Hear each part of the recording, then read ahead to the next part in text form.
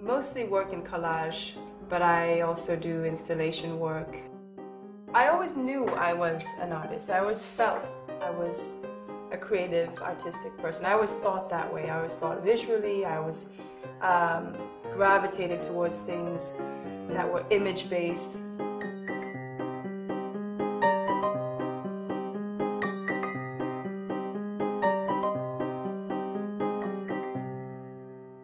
My inspiration has always stemmed from my interest, my love, my compassion for um, women.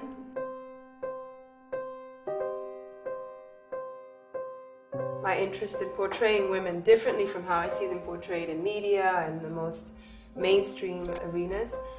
I have an interest in, in, um, in play, in creation, in making metaphors and visual, uh, visually interesting things.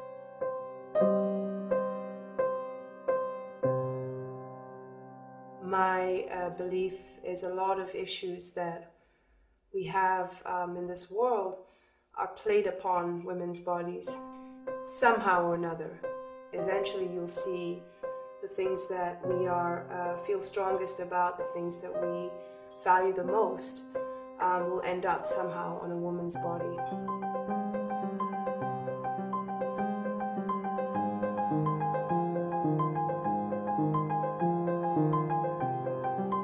I think it's important for Deutsche Bank to support artists um, with integrity, and I and I believe that's what's happening with this sort of collaboration that's been going on between Deutsche Bank and Guggenheim because it shows that have come out, the work that's come out of it has been exceptional. So I'm really thrilled to be a part of that collaborative moment.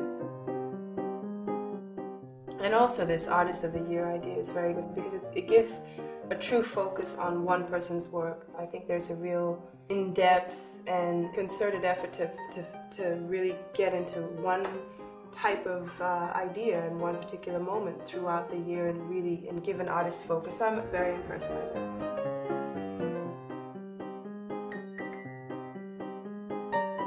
Deutsche Bank. Leistung aus Leidenschaft.